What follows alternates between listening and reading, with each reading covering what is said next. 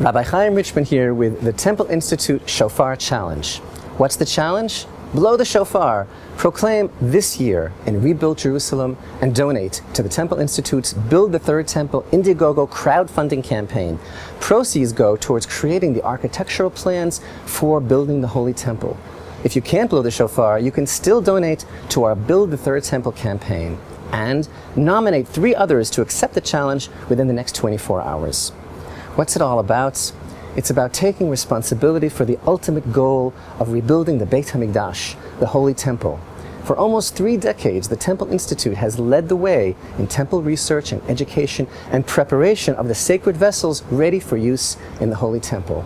We call upon our supporters worldwide to blow the shofar and proclaim the clear message that the people of Israel have returned to the land of Israel and truly long for the Holy Temple.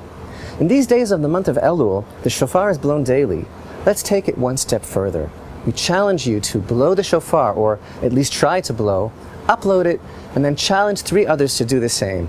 The Indiegogo campaign ends on Erev Rosh Hashanah. Take the challenge and please donate and help make the dream of 2,000 years come closer to reality. This year in Rebuilt Jerusalem.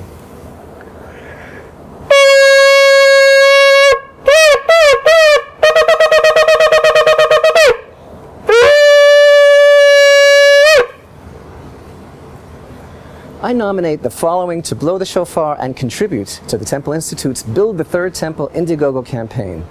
Member of Knesset Moshe Feiglin, Rabbi Lazer Brody, Rabbi Tovia Singer, Rabbi Ephraim Goldberg, Rabbi Ira Budow, Michael Freund, Jonathan Feldstein, Professor Jeffrey Wolf, Yishai Fleisher, Josh Hasten, Yitzchak Meir Malek, Ari Abramowitz, Avi Hyman, Yoni Kempinski, Shmuel Sackett.